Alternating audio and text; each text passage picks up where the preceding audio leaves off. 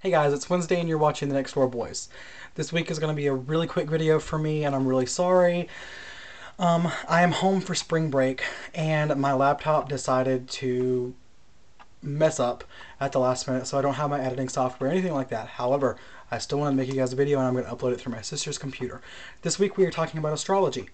Um, I don't really follow astrology that much. Like I read my horoscope from time to time and I own this book kind of talks about. I'm a Pisces, by the way, March 20th, which is coming up very soon, so I expect a happy birthday wish from all of you.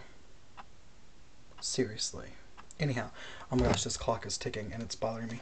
Shh, I'm making a video. Um, yeah, I don't really follow astrology that well. I do watch, I do read my horoscope from time to time, but it's not like something big for me. You know, I don't really, I don't know, I don't really oh my gosh, I gotta read my horoscope to find out what I'm doing today. Oh my gosh, I'm gonna meet the love of my life. No, I don't do that. I just think it's fun. Um, I've never been to like a psychic palm reader. I've always wanted to go, but they're so expensive.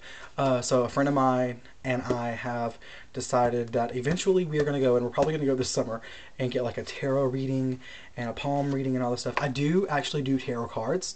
Um, that is something that I really enjoy doing, and it actually turns out to be pretty darn accurate. So yeah. Again, I'm really sorry this video is so short, but I've been so busy. I've been working every day since I came in for spring break, which I love it. Don't get me wrong, I love my work, I love my coworkers, but I've just been super busy.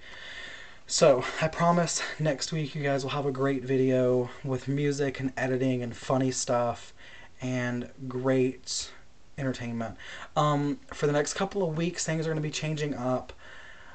We have lost one of our next door boys not like he didn't die, but he has decided to leave the channel, um, and I don't know how that's going to be announced, so I'm not going to say anything like who it is or anything like that. But it will all be explained probably Monday by Dakota.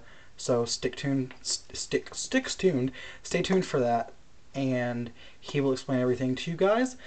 But please keep watching. We have several subscribers, and I'm so grateful grateful for all of you guys. I love you, and I really hope that we're helping you guys. Um, if there's any questions that you have, email us nextdoorboys at hotmail.com or email me personally, chase underscore nextdoor at yahoo.com. If you have any questions for me, I'll address it in the videos.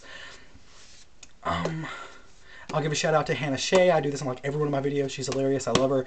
H S H E A 1 1 is her username. Go check her out yeah, I guess that's it. I'm really sorry this video is so short, but I love you guys, and I will talk to you soon. See ya.